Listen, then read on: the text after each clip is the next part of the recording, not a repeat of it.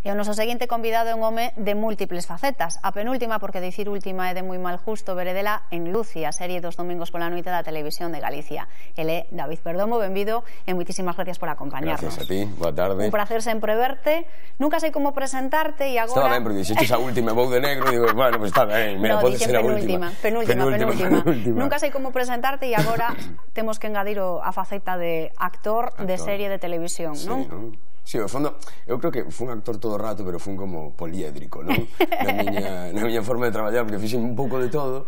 E, eh, eh, eh, bueno, sí, realmente o que estou me dando conta, ahora xa con, con 34 anos, que coño, que as series de televisión tamén non se me dan mal, penso, non? Que estou cómodo traballando e que... E, bueno, que tamén penso que ese paso a máis, máis alá de xa acabou, non xa acabou, pero xa rematou un pouco Coruño, non, non Coruño, uh -huh. pero si, xa te queda un pouco longe. Claro, xa me quedaba no momento, pero como que agora, bueno, a xente dáse conta, hostia, hai algo detrás diso, non? Hai, uh -huh. hai un actor. Eu ven cousa boa, eh? Non quero Estouche. adiantar moito, sí, non quero adiantar moito, pero sí que me gustou e quero que ti nos expliques cal é a túa aportación a Luci Pois aí eu fago de topi. Por Porque fa sufrir a Lucia, sí. Fago sufrir a Lucia, sí. Eu fago... A mí sempre caenme... Pa, cando fago papéis sempre é extremo. Sou moi, moi extremo, non? É como non fago, fago de macarra, ou fago de, de superpijo, ou fago tal. Neste caso, Topi é un mecánico, é un tipo que a Lucio que lle fai... É, uh -huh. Desta xente que che di... Teño un amigo que ten un taller que che arregla o coche guai mm. e nunca é verdade, sabes? Sempre o deixa peor. Hai nos que sí, eh? Hai nos que sí, vale. Hai xente que sí, pero outros moitos non, non?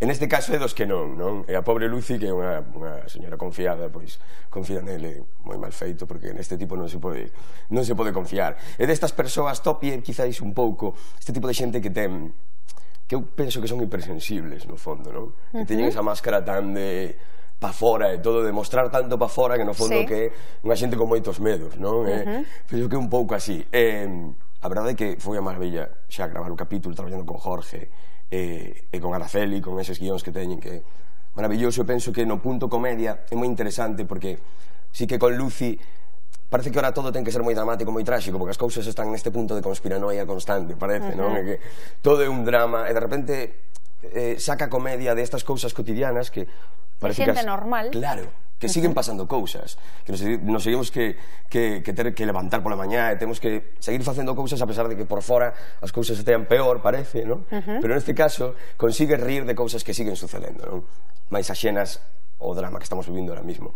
E creo que iso é brillante desta serie, porque ademais de alonxarte un pouco de todo isto, pues, acabas te rindo das cousas que te suceden cotidianamente, que é un pouco do que Claro, eu ia che preguntar, acaso me detumba a pregunta que che parece Luci como proxecto, pero creo que xa queda xa claro que estás encantado, non? Eu estou encantado porque é moi moi artesanal, é moi é moi bonita, quero dicir, os personaxes son moi lindos, moi reales, non é algo esta televisión dos 90, non te acordas? Que era como bombo e platillo, luces, tal, decorados...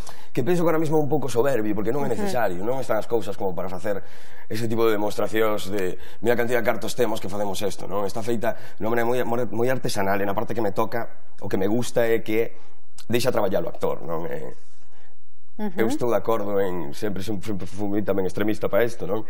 Pero creo que moitas veces o que hai polo medio do público os actores entorpece. Neste caso, é moi fresco, moi feito na casa, como se di, e nese rodaje, aparte de que Jorge é unha máquina, é un e sabe perfectamente como traballar cos actores, porque me tra...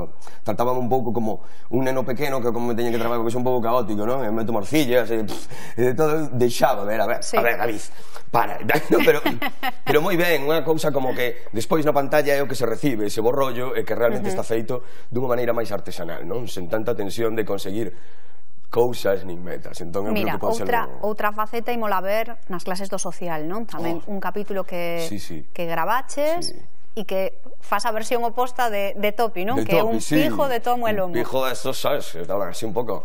Sí, eh, por eso decía de antes, non? Porque menos de, de unha semana estiven aí recordando de Topi, que xa grabei gravei fai tempo, pero facendo este papel de tal, e digo, non hai nada nunca poderei ser protagonista de nada, porque non, non son neutro, sabes? Quero dicir, son de macarra ou de pijo, neste caso facía, oye, coño, de un megapijo, evidentemente coruñés ou de onde sexa, pero eh, está moi ben tamén plantexada esa serie eh, porque traballa Isabel Arán, está Santi Romay, está Santi, uh -huh. de moitísimos cameos, de moitísima xente, maravillosa. Está feita tamén de unha maneira moi artesanal e volvemos ao que falábamos con Lucy, ese punto de eh, a, a, o cotidiano, o, o que sigue sucedendo, a pesar de que uh -huh. fora a cousa pareza que... que Mira, non... e 30 segundiños para a música, porque aí estás dándolle con forza, sí, a ver. non?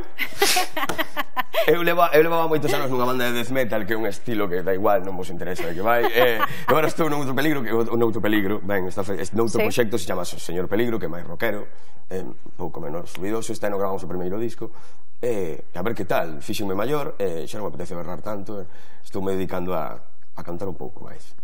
En fin, que veremos todo iso Pronto. Todo iso brevemente, pouco a pouco que se non aburridos de min, e tampouco é cuestión deso. O primeiro que veremos é Lucy. Esta noite, esta Perfecto. noite todos aí ás nove media. Pejados á televisión. Claro David, sí. un placer falar contigo, como sempre. Como sempre. Veña, graciñas. graciñas a ti.